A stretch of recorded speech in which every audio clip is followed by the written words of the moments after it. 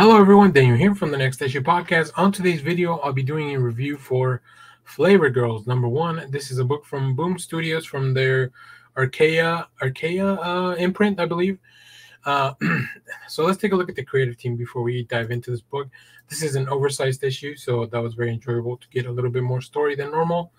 Uh, this is um, with story and art by uh, Loic Locatelli Korn Kornowski. Uh, apologies if I mispronounced that, which I'm pretty sure I did.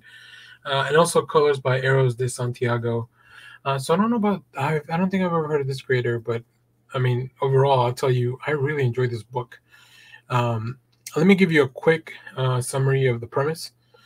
Uh, so Naoko, Camille, and V are the Flavor Girls, sacred sacred fruit guardians of the earth.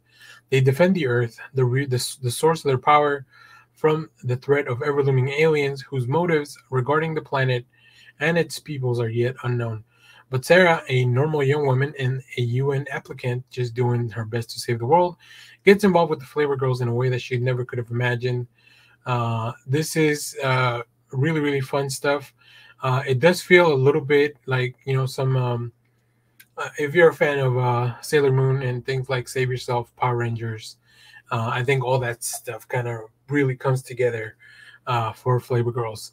So yeah, very very exciting. Uh, let's take a look. Let's take a look at some of the art because I think that really, I, I just really enjoyed here. Um, I love I love the parallels here and the the panels here of storytelling. We're seeing two separate stories, right? We see one from the point of view of uh, Sarah, one from the point of view of the Flavor Girls, uh, and as things are going on uh, from this thread, uh, and all this stuff really is building up. Like all the preview pages I'm showing you uh, are kind of building up to what we're really going to end up seeing. I love the look of the alien ship or, or whatever this big face thing um, is. And here, let's take a look at the next page. Uh, just so much fun, so many cool designs. I love the character designs, the ship, the obviously some tragedy happens.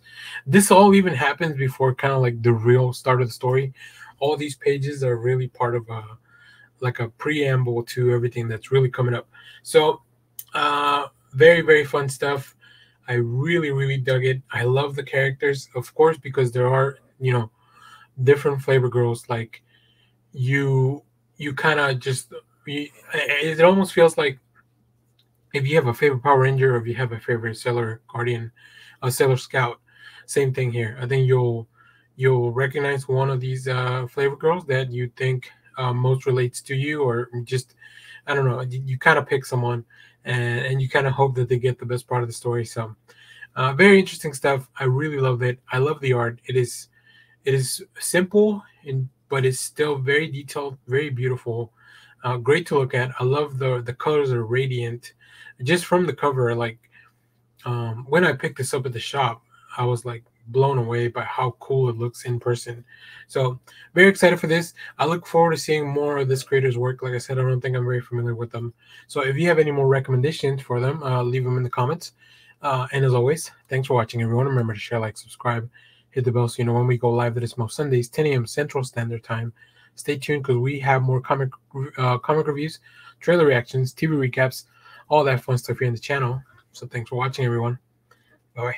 -bye.